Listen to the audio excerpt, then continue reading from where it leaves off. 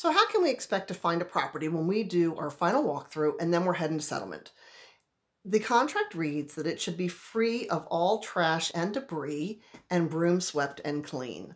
So, Mr. and Mrs. Buyer, I would recommend that you plan on cleaning before you move in. So, your idea of clean and the seller's idea of clean are probably not the same thing, right?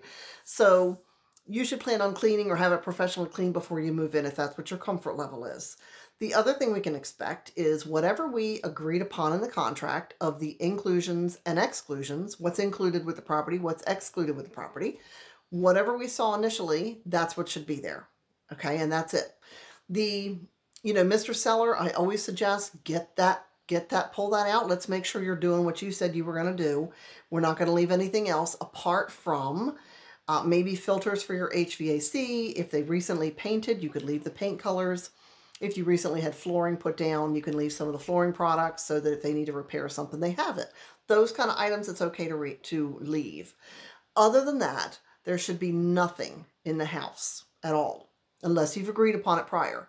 No lawn furniture, no old ladders, no rusty garden tools. Uh, I mean, some buyers would love to have that. Let's talk about it ahead of time, not when we go for the final walkthrough.